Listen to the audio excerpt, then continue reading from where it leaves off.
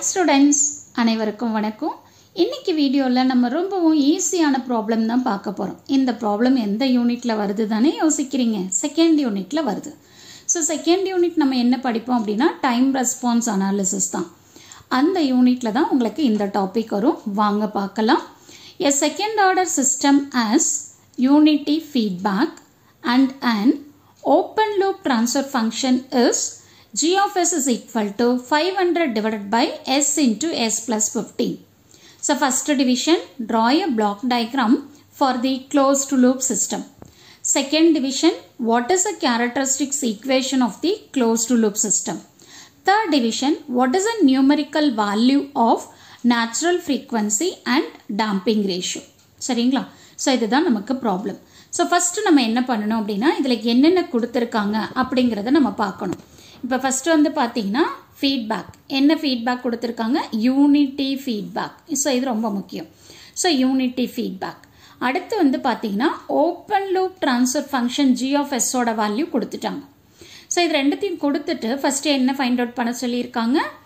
Black டயக்ராமை வரைய சொல்கிறாங்க அவ்வளோதான் எதுக்கு? க்ளோஸ் லூப் சிஸ்டம்க்கு ஓகே ஸோ எப்படி நம்ம பிளாக் டயக்ராம் போடுவோம்? ஸோ இப்போ க்ளோஸ் டு லூப் சிஸ்டம் அப்படின்னு எடுத்துக்கிட்டிங்கனாவே கண்டிப்பாக உங்களுக்கு வந்து எரர் டிடெக்டர் இருக்கும். அதே மாதிரி ஃபீட்பேக் எலமெண்ட் இருக்கும். சரிங்களா? இப்போ பாருங்கள் ஸோ இது எரர் டிடக்டர் இது ஃபீட்பேக் எலமெண்ட் இது ஓப்பன் லூப் ட்ரான்ஸ்ஃபர் ஃபங்க்ஷன் இப்போ ஜி ஆஃப் எஸ்ங்கிறது ஓப்பன் லூப் ட்ரான்ஸ்ஃபர் ஃபங்க்ஷன் அதோட வேல்யூ இங்கே எடுத்து எழுதியாச்சு. அடுத்து இது feedback element H of S H of எஸ்ஸோட value ஆக்சுவலாக என்ன கொடுத்துருக்காங்க? யூனிட்டின்னு கொடுத்துருக்காங்க.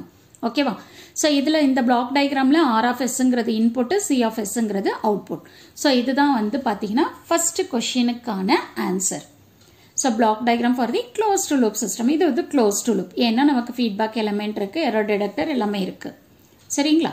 ஓகே இப்போ அடுத்து என்ன ஃபைண்ட் அவுட் பண்ண சொல்லியிருக்காங்க? கேரக்டரிஸ்டிக்ஸ் ஈக்குவேஷன் ஃபைண்ட் அவுட் பண்ண சொல்லியிருக்காங்க. இப்போ இது வந்து நம்ம என்ன பண்ணணும் அப்படின்னா டேரெக்டாக கேரக்டரிஸ்டிக்ஸ் ஈக்குவேஷனை ஃபைண்ட் அவுட் பண்ண முடியாது. ஃபஸ்ட்டு நம்ம என்ன பண்ணணும்? ட்ரான்ஸ்ஃபர் ஃபங்க்ஷனை ஃபைண்ட் அவுட் பண்ணணும். ஸோ இதுக்கான ட்ரான்ஸ்ஃபர் ஃபங்க்ஷன் என்ன? அப்படிங்கிறத நம்ம ஃபைண்ட் அவுட் பண்ணணும். ஸோ அதை எப்படி ஃபைண்ட் அவுட் பண்ணுவோம்? C of S divide by R of எஸ்ங்கிறது தான் transfer function so this is equal to G of S divide by one plus G of S into H of S கரெக்டா இப்போ G of எஸோட value நமக்கு five hundred divide by S into S plus ஃபிஃப்டின்னு கொடுத்துருக்காங்க. Okay divided by one plus G of S into H of S H of எஸோட value one இது நம்ம என்ன பண்ணணும் அப்படின்னா சிம்பிளிஃபை பண்ணணும். அவ்வளோதான் ஸோ நியூமரேட்டரில் five hundred divide by S into S plus fifteen இருக்கு.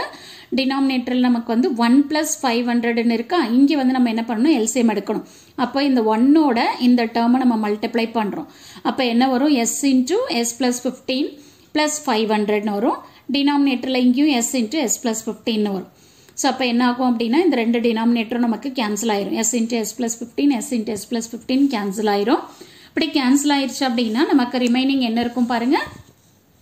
C of S of divided by R of S is equal to five hundred divided by S square normal multiplication தான் பண்ணணும் வேற ஒன்றும் இல்லை. S into S S square so fifteen into S fifteen S ஓகேவா அதுதான் நான் இங்கே பண்ணியிருக்கேன். So S square plus fifteen S plus five hundred okay so இதில் வந்து பார்த்தீங்கன்னா இந்த denominated term is equal to ஜீரோன்னு எழுதுனீங்க அப்படின்னா அதுதான் உங்களோட கேரக்டரிஸ்டிக்ஸ் ஈக்குவேஷன் ஓகே ஸோ அப்போ இதிலிருந்து S square plus fifteen S plus five hundred is equal to zero so இதுதான் இந்த கொடுத்துருக்கிற சிஸ்டம்க்கான கேரக்டரிஸ்டிக்ஸ் ஈக்குவேஷன் ஓகே சரி.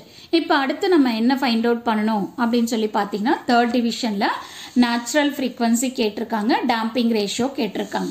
ஓகேவா ஸோ எப்சிலானுங்கிறது தான் டேம்பிங் ரேஷியோ ஒமேகா என்னங்கிறது என்ன அப்படின்னு சொன்னீங்கன்னா natural frequency undamped natural frequency okay அப்போது எப்சிலானோட வேல்யூவும் ஃபைண்ட் அவுட் பண்ணணும் ஒமேகா என்னோட வேல்யூவும் ஃபைண்ட் அவுட் பண்ணணும் இந்த கேரக்டரிஸ்டிக்ஸ் ஆல்ரெடி நம்ம ஃபைண்ட் அவுட் பண்ண அந்த கேரக்டரிஸ்டிக்ஸ் ஈக்குவேஷன் எடுத்துக்கிட்டு இதோட ஜென்ரல் ஈக்குவேஷனை எழுதிக்கணும் அப்போ ஈஸியாக கம்பேர் பண்ணுறதுக்கு ஈஸியாக இருக்கும் அவ்வளோதான் ஸோ ஜென்ரல் ஈக்குவேஷன் என்ன உங்களுக்கு? S square plus two epsilon omega N into S plus omega N square is equal to zero so இப்போ நீங்கள் என்ன பண்ணணும்? இதோட கம்பேர் பண்ணணும். அப்படி கம்பேர் பண்ணுறப்போ இந்த ஈக்குவேஷனோட கம்பேர் பண்ணுறப்போ omega N square is equal to five hundred இதுல இருந்து omega N is equal to கண்டுபிடிச்சிக்கலாம். எவ்வளோ வருது நமக்கு? Twenty two point three six இதோட யூனிட் வந்து ரேடியன் பர் செகண்ட் ஓகே அடுத்து நான் என்ன பண்ணணும் அப்படின்னா எப்சிலானோட வேல்யூ ஃபைண்ட் அவுட் பண்ணும் அதனால நான் இப்போ என்ன பண்ணுறேன் இந்த டேர்மோட கம்பேர் பண்ணுறேன் இப்போ கம்பேர் பண்ணுறப்போ two epsilon omega N is equal to fifteen இதிலிருந்து epsilon is equal to fifteen divide by two into omega N